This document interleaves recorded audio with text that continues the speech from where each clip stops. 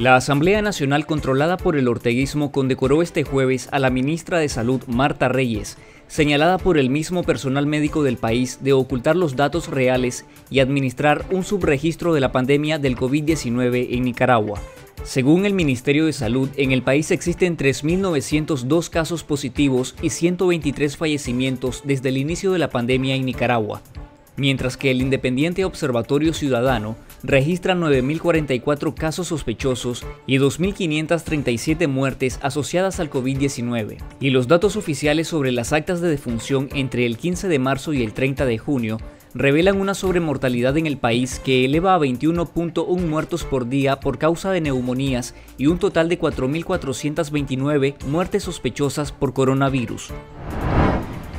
Este jueves se realizó una audiencia judicial a puertas cerradas en contra de Kevin Adrián Monzón, un joven abiertamente opositor al régimen de Daniel Ortega, capturado ilegalmente por la policía el pasado 31 de julio, en una gasolinera cercana a la rotonda Cristo Rey de Managua. Monzón es conocido por su ciberactivismo a través de las redes sociales como TikTok, donde publicaba con frecuencia expresiones de protesta en contra de la represión del gobierno.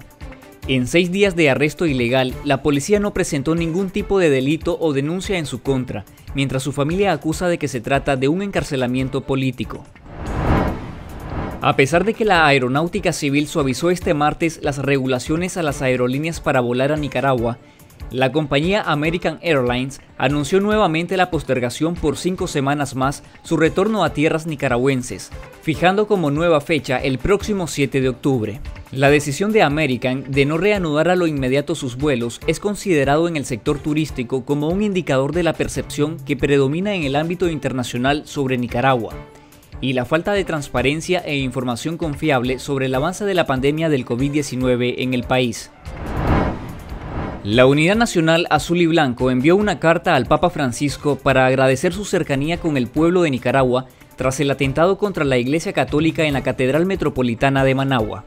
La misiva invita al Papa a considerar una visita a Nicaragua, que tendría un gran significado de bálsamo, aliento y esperanza para toda la población que ha sufrido la represión, la violación a los derechos humanos y también en contra de su libertad religiosa.